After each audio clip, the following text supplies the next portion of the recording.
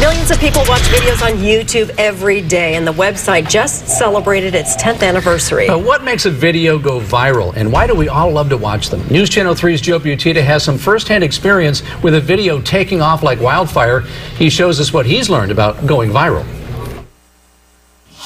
The internet is an interesting place between Facebook, Twitter, Instagram, Snapchat, and YouTube, of course.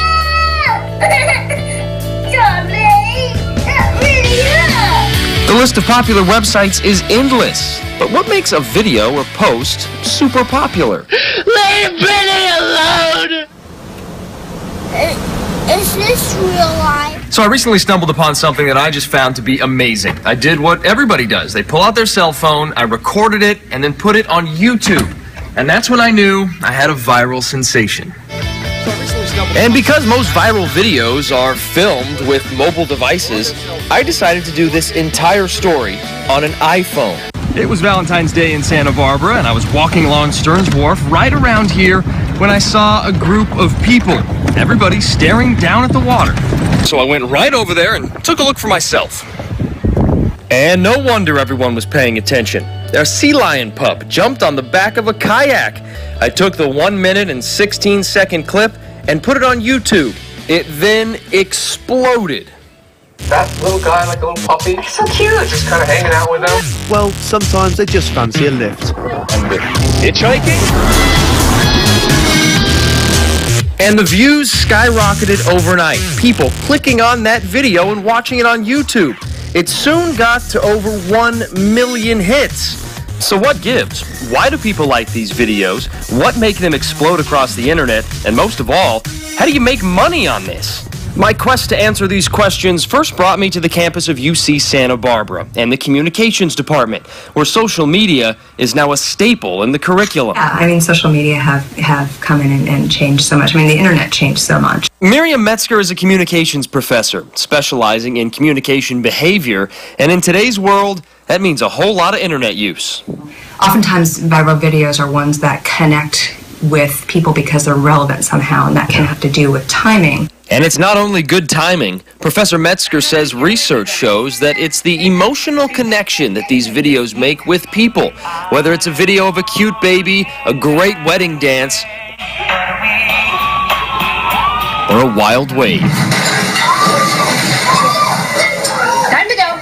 Video that engages the audience emotionally in some way is more likely to go um, to go viral than, than a video that doesn't. We're social beings, so we want to be connected. We want to belong to the group.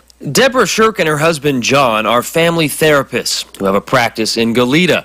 They see and treat teens and young adults who fall victim to the internet's addictive qualities. With those particular age ranges, you see how well, how do you balance uh, actual face-to-face life with people with also the online life and the enormous importance of that. It's the urge to be part of a group and to see and share what your friends are doing, and that's one of the secrets to why videos go viral. From the mindset of a psychologist, the popularity of viral videos comes right from the brain. The joy or shock of a video releases dopamine, which can make us feel good and coming back for more. It's an ultimate playground, essentially. It's, And that playground can make people a lot of money. You see it all the time on YouTube, those ads that start playing just before the video. Well, those ads are making the creators some big time dough. It's low risk, high reward. Michael Satacario is the chief revenue officer for a media company called Storyful, and he spoke with me via Google Hangouts. It's uh, it's a profitable business, isn't it? Yes, yes. It most certainly is profitable business. Um, you know, the, the, the cost, if you think about the cost to create content, to create great story, uh, it's very minimal. Now, your chances of creating a great viral sensation are very li- limited. Right. Storyful is a four year old company based out of Dublin, Ireland. They find videos online that are going crazy and starting to turn viral, and using a technology, identify those videos before that viral sensation starts. Um, some people don't even realize they could make income out of this. And so we sort of educate. Our first line is, is education, right? We should be educating you on the marketplace. And that education really paid off for me.